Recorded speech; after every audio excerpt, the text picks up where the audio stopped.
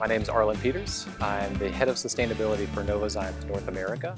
Well, for Novozymes, uh, it actually has a kind of a specific meaning. Um, we don't really talk about innovation as much as bioinnovation, uh, which for us is about understanding uh, biology, uh, our natural world, and uh, using that understanding and applying it to some of the big challenges that we see in the world today with our customers.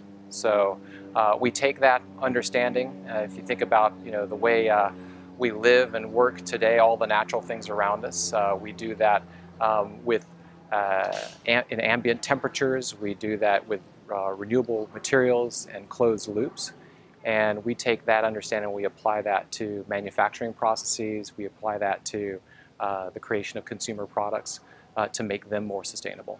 So uh, what we like to do is we compare uh, a biological process with a conventional process, and we use what we call a life cycle assessment uh, to see uh, what are all the inputs and then what are all the outputs. And there are some very uh, sort of specific things that we look for. Uh, we look at energy usage, we look at CO2 emissions, sometimes we look at chemical use, et cetera and, um, and we're able to see whether or not our products are actually uh, beneficial for the environment in a very rigorous and systematic way. Um, that helps us to document uh, the environmental benefits of our products um, and understand really what the impact is on the world.